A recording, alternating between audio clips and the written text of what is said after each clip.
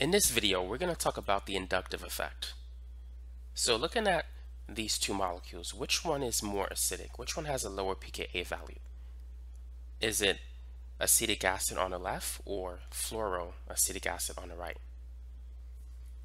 The pKa for acetic acid is around 4.75. When you add the fluorine to it, this hydroxyl group becomes more acidic. The pKa of that hydrogen is 2.7. And this is due to the inductive effect. Fluorine is an electronegative atom. It really wants electrons, and so it pulls electrons toward itself. This inductive effect of fluorine, its ability to pull electrons through the sigma bond, causes this acid to become more acidic. And the reason has to do with the stabilization of the conjugate base. So if we draw the conjugate base, we can better see the effect that fluorine has on this ion. So fluorine, being an electron withdrawing group, is going to pull electron density away from the system toward itself.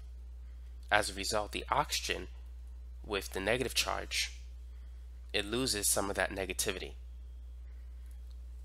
Fluorine has the effect of making the, the negative charge less negative, closer to neutral. As a result, because the oxygen loses some of its negative charge, it becomes more stable. So if we were to compare acetate and this particular base, acetate would be the stronger base, this would be the weaker base. If this is the weaker base, that means that this is the stronger conjugate acid, this is the weaker conjugate acid. So that's the basic idea behind the inductive effect. Whenever you add an electron withdrawn group, it will make the acid stronger, more acidic. It'll decrease the pKa. And it does this by stabilizing the conjugate base. It makes the base less negative, so to speak. Now, let's consider some other examples. Which of these two molecules would you say is more acidic? Chloroacetic acid or fluoroacetic acid? So while you think about that, I'm going to write up another problem.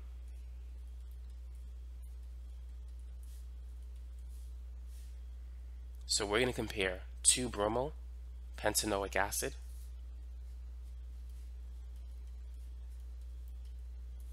with 3-bromo pentanoic acid. So looking at the example on top, we're comparing chlorine and fluorine. Which one is the better electron withdrawing group? So in group 7a or group 17 of the periodic table, we have fluorine, chlorine, bromine, and iodine. Electronegativity increases towards fluorine. So what that means is that fluorine is more electronegative than chlorine. On the electronegativity scale, fluorine has a value of 4.0. For chlorine, it's 3.0. So because fluorine is more electronegative than chlorine, we expect that this compound is going to be the stronger acid. It's going to be more acidic. And the pKa for fluoroacetic acid is 2.7. For chloroacetic acid is 2.9. So adding a stronger electron withdrawn group will make the acid more acidic rather than adding a weaker electron withdrawn group. But nevertheless, both of these halogens do exert a, a significant effect on acetic acid. Keep in mind the pKa of just a normal acetic acid molecule is about 4.75. So this chlorine still had a major effect on its pKa. Now what about looking at 2-bromo pentanoic acid with 3-bromo pentanoic acid? Which one is going to be more acidic? Well, we can clearly tell that the one that's closer to the acidic proton is going to be, it's going to create a more acidic molecule. So that's going to be 2-bromopentanoic acid. The inductive effect is not as great when the electron withdrawing group is far from the functional group that we're considering. If it's three carbons apart, the effect is not really noticeable. So keep in mind, the pKa of a typical carboxylic acid is between 4 to 5. For this one, it's around 3.0. For this molecule, it's about 4.0. So we can see there's a huge difference in moving the electron withdrawing group one carbon away from the carboxylic acid functional group. The pKa increased by a factor of 1. So this is going to be the stronger acid. Putting the electron withdrawing group closer to the functional group or the, the acidic functional group will make the acid a lot more stronger.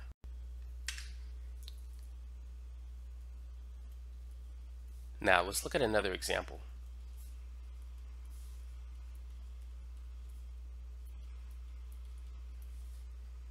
Let's compare these two. Which one would you say is more acidic? If we were to draw this out, it would look like this.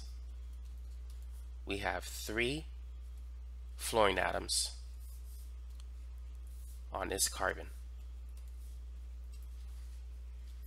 We know the pKa of fluoroacetic acid is around 2.7. Now, for trifluoroacetic acid, it's between 0 to negative 1. So it is very acidic. It's in the strong acid category. So the number of electron withdrawing groups also play a role in affecting the pK of the acid. So far, we've considered three factors. Number one, the type of electron withdrawing group having a fluorine atom versus a chlorine atom will make the acid more acidic.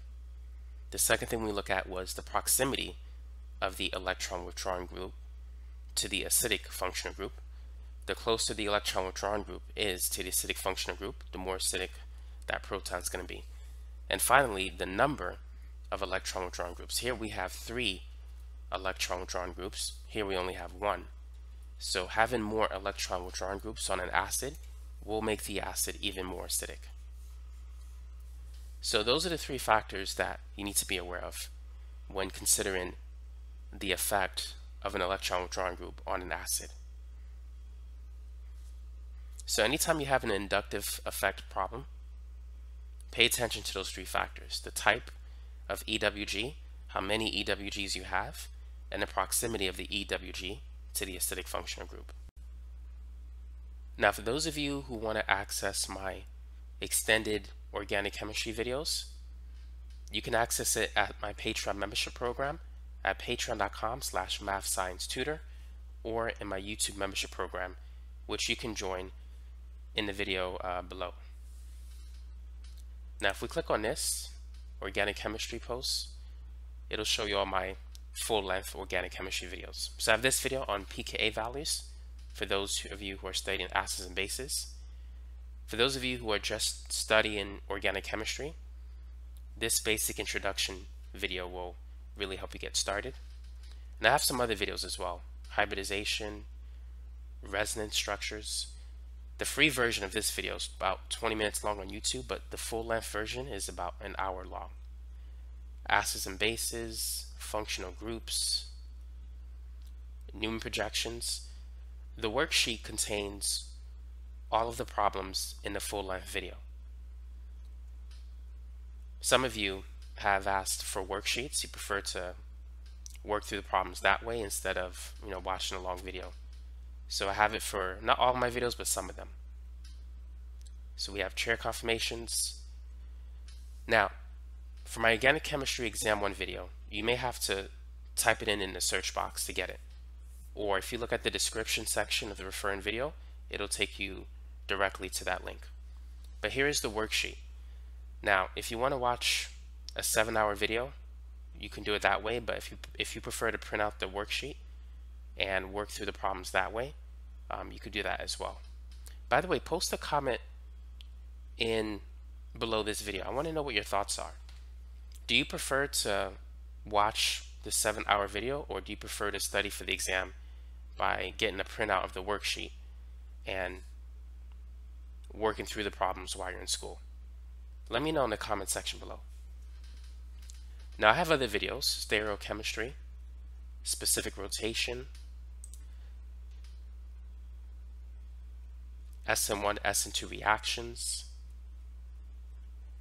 Uh, there's a practice test on that, 77 practice problems. So here's the video with the practice test, but I haven't done the worksheet yet. We got alkene reactions, alkyne reactions, alcohol reactions, radical reactions, and then my organic chemistry one final exam review video.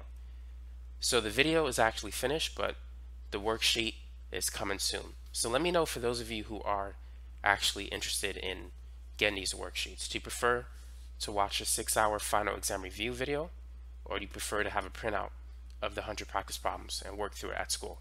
Let me know in the comment section below.